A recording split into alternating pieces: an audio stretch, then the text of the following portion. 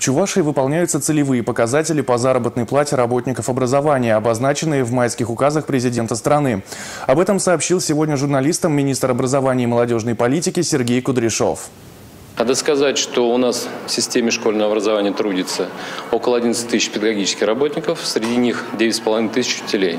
Если, допустим, педагог имеет стаж работы ну, 20 и более лет, квалификационные категории существуют этого педагога, есть какие-то у него другие заслуги, есть звания, за которые тоже осуществляется дополнительная оплата, он получает приблизительно около 30 тысяч рублей. Надо сказать, что последние годы сложилась хорошая поддержка наших педагогов, которые достигают высоких результатов а, подготовки наших э, учеников к различным олимпиадам.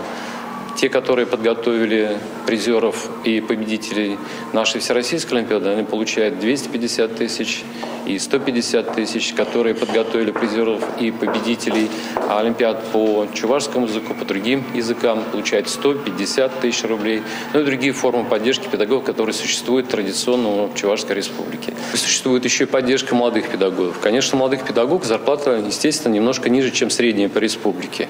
Но для этого существуют такие доплаты, как Молодой педагог, который приходит в школу, первые три года они получают доплату 0,5 коэффициент.